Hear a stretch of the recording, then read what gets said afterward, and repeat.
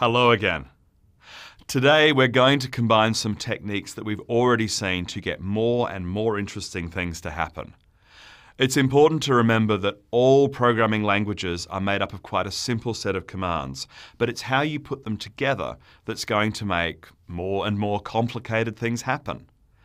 Let's start by looking at the for loop again. Remember that we have the loop header, which contains the initialization section, the condition that we test against, and the update code. Inside the loop, we have the body statements that are going to be executed each time we pass the test. Now, those statements can be just about any processing command. What does that mean?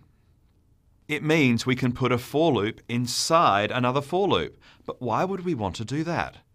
Let's look at a real world example, calling the roll for students in the school. We know that we have so many classrooms and each classroom should hopefully contain a certain number of students. So what we want to do is to go to each classroom, call out each student's name and if they're there, mark the roll. Now can you see the structure there? For each classroom, for each student, call the roll.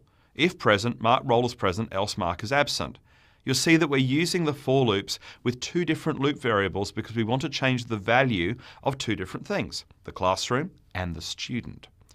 We often refer to loops like this as being nested because one sits within the other like eggs in a nest.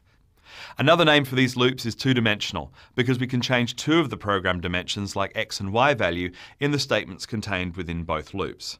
But how do these values change? Well, let's look at an example. For these examples, we're going to base our changes on the x and y values on the display.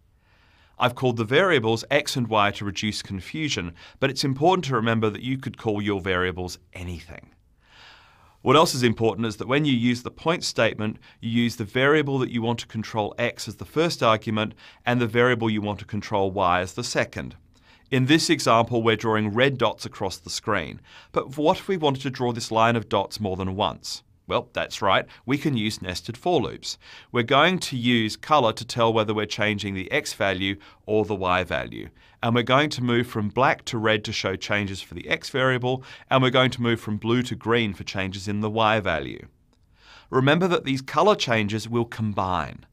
So as a reminder, here is that first piece of code again with the colour change. See how the dots get redder like before? Now we put another loop inside this to change the y values as well.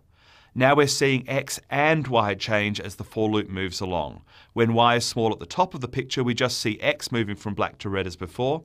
As y gets bigger, we see the influence of the green as we add more green.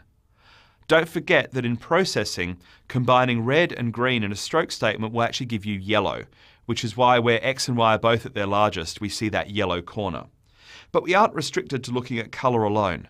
In the next section, we'll look at changing two different elements of your pictures, colour and size.